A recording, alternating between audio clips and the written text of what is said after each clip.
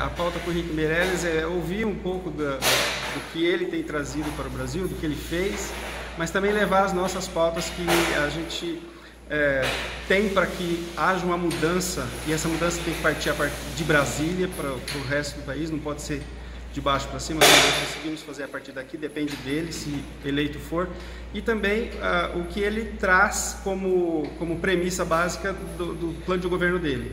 Isso que nós gostaríamos de, de tratar com o Henrique Meirelles hoje aqui na Associação Comercial. Na verdade, o movimento Juntos Faremos, onde nós temos as bandeiras. Né? A Associação Comercial tem como bandeira pétrea a livre iniciativa. E tudo aquilo que vai ao encontro disso, nós estamos apoiando. Fora disso, nós somos contrários.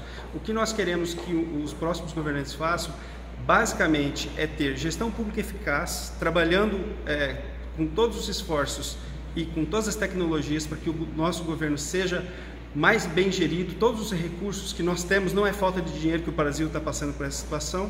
Então nós queremos que na gestão pública ele traga ferramentas que facilitem a vida do empresário no dia a dia, que diminua a burocracia, que faça com que o empresário se concentre na produção e não atender é, essa burocracia toda que o país tem.